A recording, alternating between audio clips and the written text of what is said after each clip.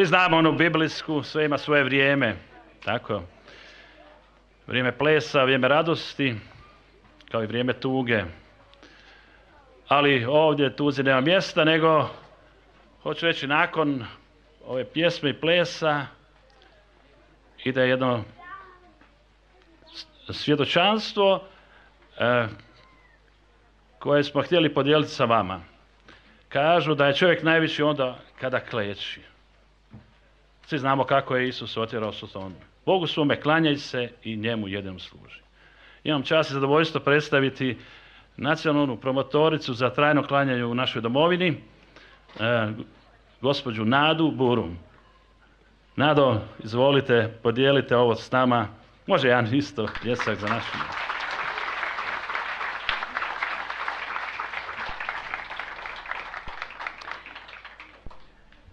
Hvaljen Isus i Marija. Ovo je bio predivan uvod. Jučer smo baš došli iz Međugorja. Tako da nije nas nešto ljepše moglo dočekati ovdje u Sisku. Evo ja se zovem Nada Burum. Živim u Dubrovniku sa svojim suprugom. Imamo dva sina, divna sina i dvije prekrasne nevjeste. Čekamo šesto unuče. I reći ću vam nešto o sebi i o trajnom euharistijskom klanjanju. Dakle, do 2003. godine mi smo bili u obitelji običajni vjernici. Ali sam još kao dijete osjećala u srcu čežnju koju nisam znala definirati. Gledala sam roditelje koji su bili marljivi, odgajali su nas da živimo pošteno, da pomažemo drugima. Gledajući njih vidjela sam puno dobra. I pod njihove stare dane često sam im znala o tome to spomenuti i na tome zahvaliti nije bilo praktične molitve, ozbiljne molitve. Nije bilo nedjeljne svete mise u tom mjestu gdje sam živjela. Ali sam zahvalna na molitvicama navečer prije spavanja jer djeca to upijaju i pamte. I to sam uočila kao vrijednost koju su njegovali moji roditelji.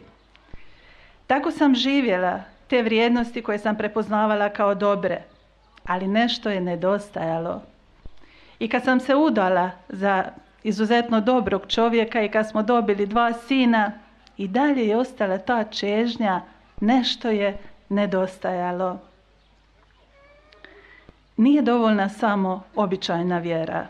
Propitivala sam, promišljala, tko ravna ovim svijetom? Ima ono nešto što čovjeka upućuje na to što je ispravno. Zanimalo me otkuda taj poticaj dolazi. Činjenica da Bog postoji za mene nije bila dovoljna i rekla sam, Isuse, ako zaista postojiš, ja te želim upoznati. Na uskrsni ponedjeljak 2003. godine spoznala sam što je milost. U crkvi Svetog križa u Dubrovniku iznad oltara Isus je u prirodnoj veličini. Ušavši u tu crkvu na taj uskrsni ponedjeljak kao da sam prvi put vidjela križ. Jedan pogled na raspetog bio je dovoljan. Bila sam svjesna da se nešto u meni događa. Promatrala sam Isusa na križu i bilo je kao postoji mogućnost. Željela sam ga promatrati.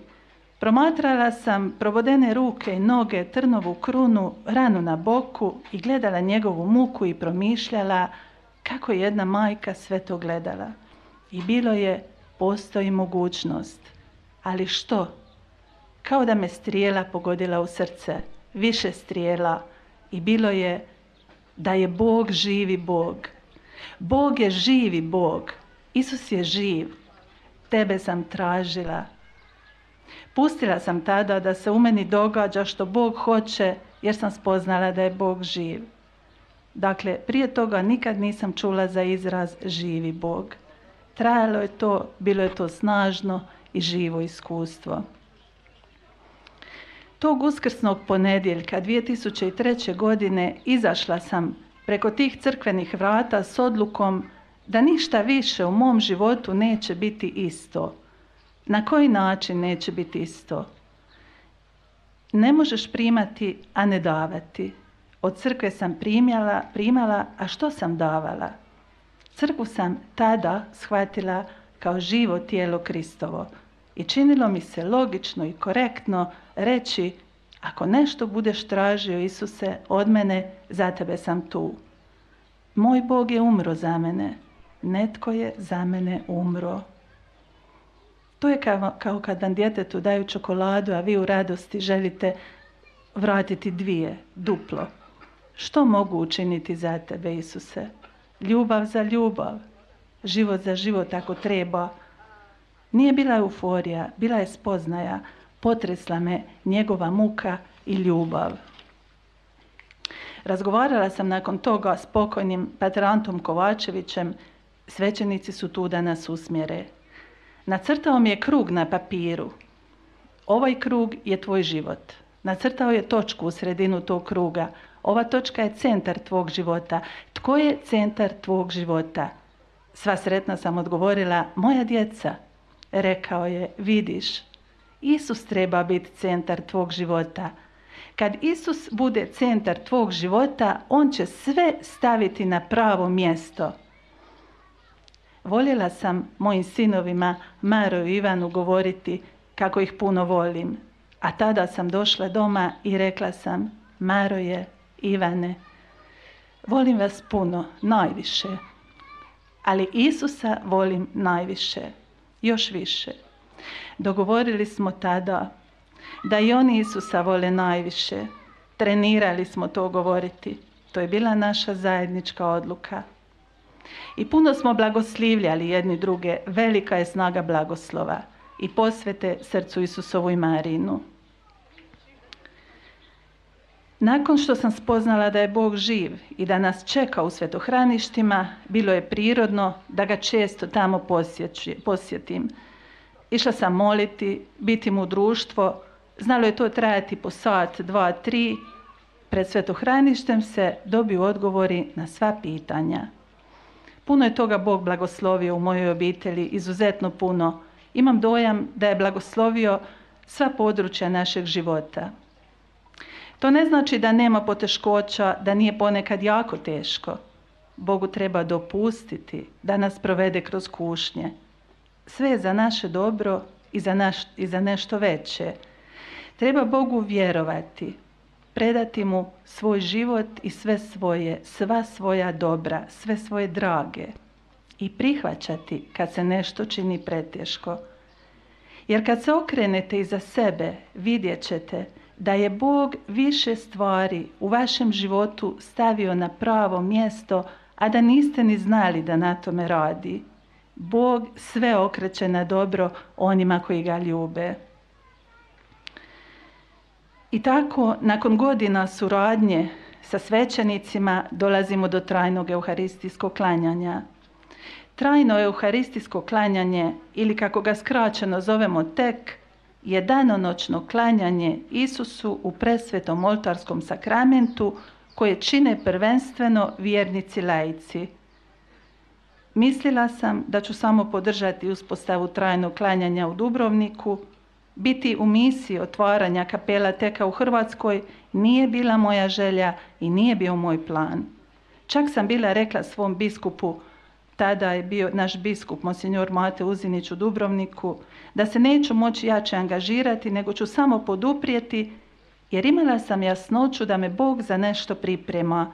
Nisam znala za što, ali nisam željela ući u nešto što nije za mene, dok Isus nije ponovo intervenirao. 2018. godine započela je moja suradnja sa paterom Hustom Lofeudom, koji pripada družbi misionara presvete Euharistije, čija karizma je otvaranje kapela trajnog euharistijskog klanjanja po svijetu. Na poziv našeg biskupa boravio je u Dubrovniku u dva navrata dulje. Bilo je to korisno vrijeme i tu sam iz prve ruke upoznala model uspostave teka koji se u svijetu pokazao najbolji i provjeren. Pater se potrudio da mi detaljno prenese to iskustvo. Na blagdan Gospe Lurske 2019. kad je započelo trajno klanjanje u Dubrovniku, pred presvetim razila mi se u srcu neopisiva ljubav za domovinu. To je bilo nešto drugačije.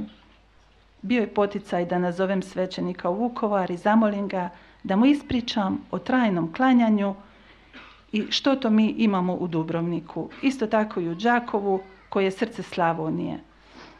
Vukovar je bio napačen grad jako sam vjerovala da Isus želi da se neprekidno časti u Vukovaru, da se daje žrtva zadovoljštine za grijehe, da se oprašta i rane liječe. Jer kad trpi jedan ud, trpi cijelo tijelo. Kad Vukovar trpi, trpi Hrvatska. Pripreme su u Vukovaru bile zahtjevne, trajale su skoro godinu dana. Ali je znakovito na koji dan se ispunio broj vjernika koji su bili potrebni da se može započeti sa trajnim euharistijskim klanjanjem. Zamislite, nakon godinu dana, baš na dan pada Vukovara, prijavio se zadnji klanjatelj i to je bio znak da se može započeti sa trajnim klanjanjem. Nije to baš slučajno. U Đakovu se prve nedjelje prijavilo 168 vjernika, točno toliko koliko je potrebno da se pokrije jedan tjedan trajno klanjanje u kapeli. Božja volja je trajno klanjanje. I kad se čini nemoguće, Bog otvara. Bog daje sigurnost da On vodi i da je njemu sve moguće. Sveti papa Ivan Pavao II je želio da svaka župa ima trajno klanjanje. Papa Franjo je rekao da je klanjanje Isusu u presvetom oltarskom sakramentu čisti savez ljubavi. Ja te ljubim, ti me ljubiš. Prirodno je da želimo biti s onim koga ljubimo. Prva je zapovjed ljubiti Boga, a druga je ljubiti bližnjega. Trajno klanjanje je prilika da gospodina ljubimo više, najviše, da Isusa stavimo na prvo mjesto u svom životu. Ako je Isus na prvom mjestu u mom životu, on će sve ostalo dovesti u red. U svijetu ima preko 3000 kapela trajno klanjanja. U Hrvatskoj do sada trajno klanjanje imaju gradovi Crikvenica, Rijeka, Dubrovnik, Split, Đakovo, Vukovar, u Zagrebu Trnovčica i Jordanovac, Slavonski Brod, Vinkovci, Varaždin i evo sad na Svetkovinu Majke Božje Bistričke otvorit će se 12. kapela, to je u Osijeku, a na jesen, ako Bog da, u Križevcima. Sve to uz blagoslov naših hrvatskih biskupa. U provedbu dijela trajnog euharistijskog klanjanja uključeni su ponajprije vjernici laici. Radi se o provođenju smjernica dokumenta Kristi Fideles Laici drugog Vatikanskog koncila koji poziva laike da se uključe u život crkve i da ne ostanu na margini. Trajno klanjanje tako postaje važan dio nove evangelizacije koji je toliko želio sveti papa Ivan Pavao II i ovo je odgovor na njegove riječi raskriliti vrata srdaca i crkava kako bi se Kristu klanjalo bez prestanka. Puno znači otvorena crkva. U Dubrovniku za vrijeme covida sve su crkve bile zatvorene, kapela je bila neprekidno otvorena. Mi smo se ranije u gradskoj jezgri sretali kad bi išli napraviti kako mi to zovemo džir po stradunu. A sad kad se nađemo na stradunu, kad vidite poznatu osobu, srce vam zaigra jer znate, išao je u kapelu prvo pokloniti se Isusu. Želim vam dati tri, četiri misli o klanjanju pred živim Isusom. Dakle, to je Boži dar crkvi našem vremenu. To nije crkveni pokret, nije posebna zajednica, niti nešto slično. To je dijelo čitave crkve i pripada svim vjernicima. Iskustvo pokazuje da ondje gdje se otvori kapela trajnog klanjanja, da se pospješuje klanjanje i na drugim mjestima. Kapela trajnog klanjanja prostor je milosti, sabranosti, oaza mira. Ljudi dolaze po danu i po noći, dolaze obnoviti snage prema onom Isusovom pozivu dođite k meni, svi koji ste umorni i opterećeni i ja ću vas odmoriti. Matej 11.28 Isus ne isključuje nikoga, on poziva sve ljude da mu dođu. Klanjanje se uvijek odvija u šutnji. U kapeli dok neki sjede, neki kleče, uvijek u tišini čini se da se ne događa ništa, ali događa se sve, jer gospodin je taj koji čini. Plodovi klanjanja su veliki, obraćenja, zvanja, dar roditeljstva, financijski blagoslov, ozdravljenja, pomirenja, mir, duboki mir. Posvjedočit ću vam nekoliko plodova klanjanja Isusu na ovakav način. Primjer, e, e, primjer ekumenizma sa Euharistijom u središtu. 2007. godine u Rumunjskoj u Temišvaru željeli su grkokatolici otvoriti kapelu trajnog klanjanja. Bilo ih je malo, nisu znali kako će, pozvali su misionara presvete Euharistije da im pomogne, on je došao, uključio rimokatolike i dalje ih je bilo premalo. Nedostajalo je 65 sati da se pokrije.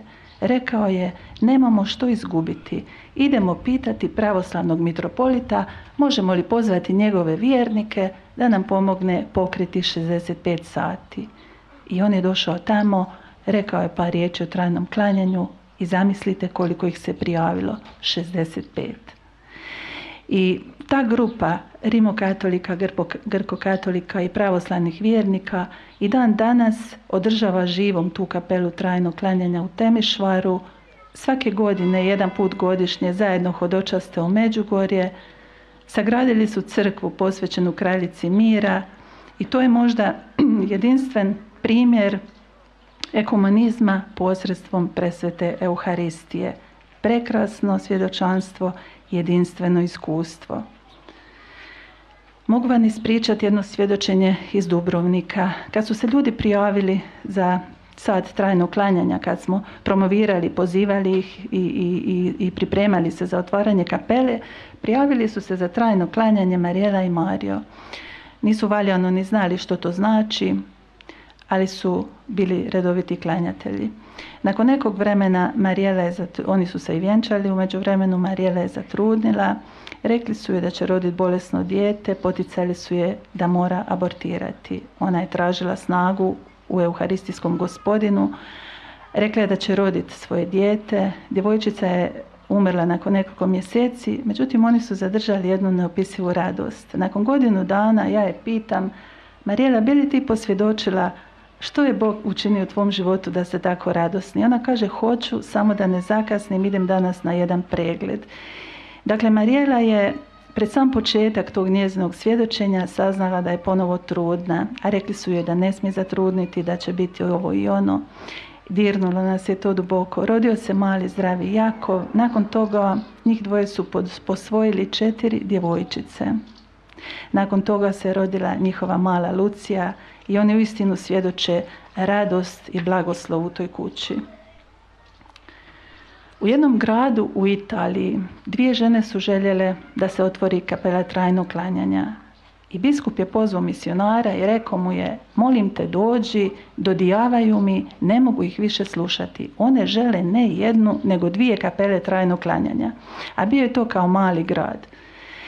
I kako gospodin ima smisla za šalu, dvije kapele su se otvorile, u svakoj kapeli se prijavio isti broj ljudi, 450 ljudi u jednoj kapeli, 450 ljudi u drugoj kapeli. Nakon nekog vremena u jednoj od tih kapela pronašli su cedulju. Potpisala ju je Marija Gracija. Na cedulji je pisalo Moja noga više od deset godina nije kročila u crkvu. Razlog što sam danas ovdje je samo taj da vidim umjetnine. Rekla je, ovdje sam pronašla mir, mir koji nisam znala da postoji. Ja želim taj mir. Marija Gracija. Postoji nadnaravni razlog zašto je ona došla. To je Boži poziv. Gospodin ju je pozvao. A ima i onaj naravni razlog. Mi smo otvorili kapelu. Svećenik je izložio presveto. Inače, kako bi ta žena došla? Tu je započeo proces njezina obraćenja. Plod trajnog klanjanja su ispašeni životi. U Italiji, u jednoj kapeli, dok je svećenik naveče molio, u kapelu je ušla uplakana žena. Naime, bila je pošla skočiti s mosta, izvršiti samoubojstvo. Promašila je put, vidjela je svjetlo koje ju je dovelo u kapelu klanjanja. Svjedočila je da je tu pronašla Isusa, svjetlo svoje duše, obratila se. Primjer iz jedne kapele u Hrvatskoj. Klanjatelj je imao brata koji je godinama bio u teškoćama, u različitim negativnostima. Cijela obitelj je trpjela. Za Boga nije htio čuti. Ipak, klanjatelj mu predloži da pođe Isusu, ali on ne želi čuti za Isusa. Brat mu kaže, dobro, ako si toliko ljut na njega, pođi u kapelu trajnog klanjanja i onda mu to reci. Reci mu da si ljut na njega. On prihvati, da, ide mu reći da sam ljut na njega. Kad je ušao u kapelu, samo što je pogledao Euharistijskog Isusa, dogodio se dodir milosti. Rasplakao se, dugo je plakao. Isus je ušao u njegov život. On danas ima dobar posao, pronašao je mir.